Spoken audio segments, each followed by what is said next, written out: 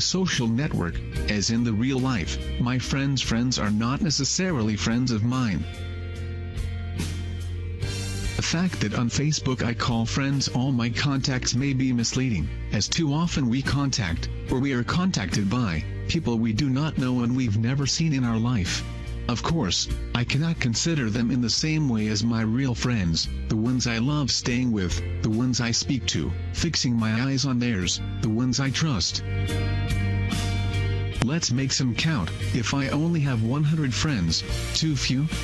and each of them has 100 friends. My social network enables me to share my tastes, my photos and videos with 10,000 people, many of them I do not know, and with which I'll never get in touch. Have you ever tried to make a similar calculation? Why don't you try and make it now?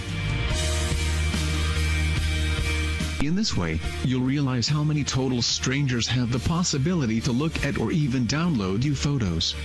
Be sure, they are too many. How can I trust in strangers? They may look nice, but they remain total strangers, who should not have a look on pieces of my life.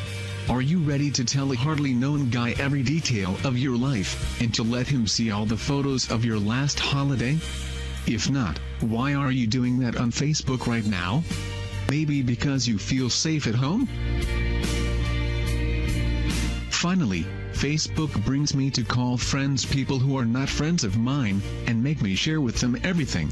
That's why I must pay attention to people I add as friends on a social network. Surely, I'll never be able to get in touch with all of them, and I'll never get in touch with their friends, so I'll better set my privacy controls so that my photos and videos are not available for all those friends' friends